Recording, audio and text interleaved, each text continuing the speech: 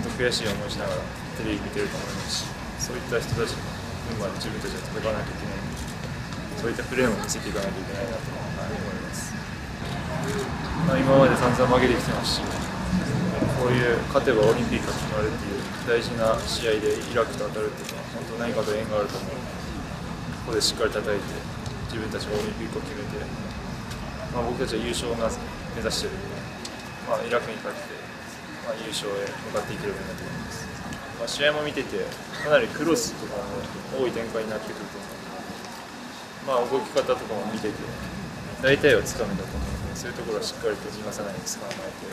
まあ、結構突っ込んできて、まあ、あんまり逃げないタイプだと思ったので自分もそこはもう真っ向勝負いきたいと思います。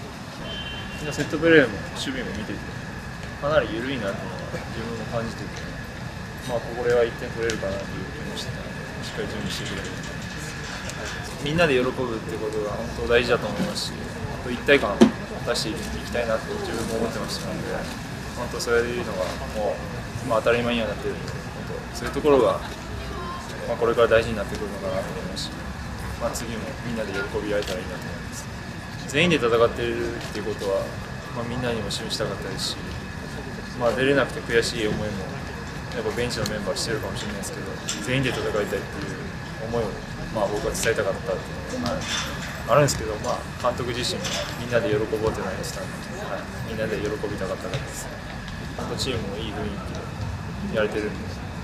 まあ、あと一つ勝てば決まるんでまた、はい、みんなで喜びたいです。ね